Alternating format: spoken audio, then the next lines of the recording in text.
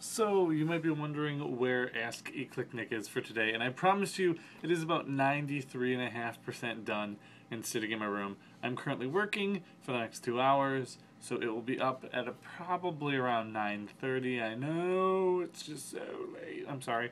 Uh, but I'm filming this on my new iPhone 4 for Verizon, which is pretty cool.